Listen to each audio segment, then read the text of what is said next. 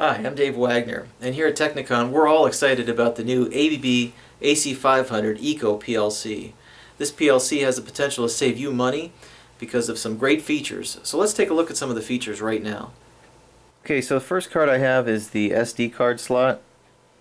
Um, I'm adding the SD card slot. It's a nice feature. The SD card can be used for data storage.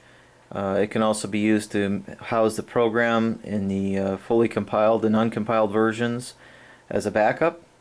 And uh, it can also be used for flash writes to the BIOS of the PLC. So that's you saw how simple that slid in. It's just a quick connection in there, and uh, it's you can see inside the PLC. Now I also have, uh, this is a real time card slot and uh, it doesn't come with the battery, you have to purchase that on your own, but it's a, I picked that up at Dollar General, so pretty easy to find this, this uh, style battery. It is uh, actually a CR2032 for those of you that are interested in knowing the number. Again, there's a simple slot and if you're going to add the COM card and these two options, there is a combined card so that you can get the real time clock and the COM card in the same slot, same card. And that helps uh, so that you can get all the features you want.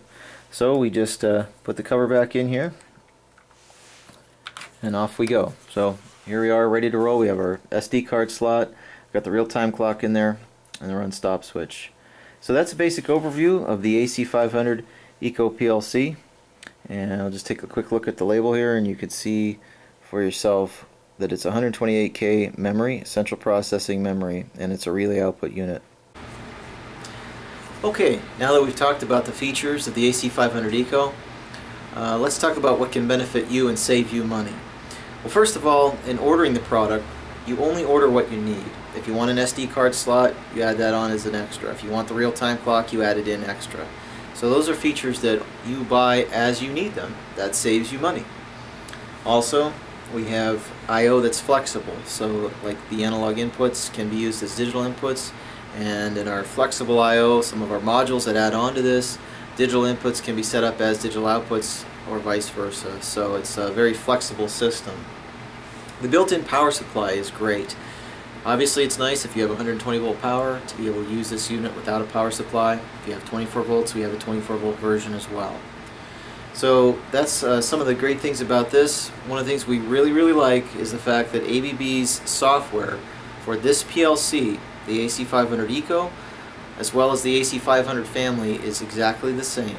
So the entire instruction set that's available to you in our high-end PLC is available to you in this low-cost product which makes your life easier for programming and faster. So you can save your blocks, save your instructions, use them for smaller programs, smaller PLC applications, and still use them for the larger stuff.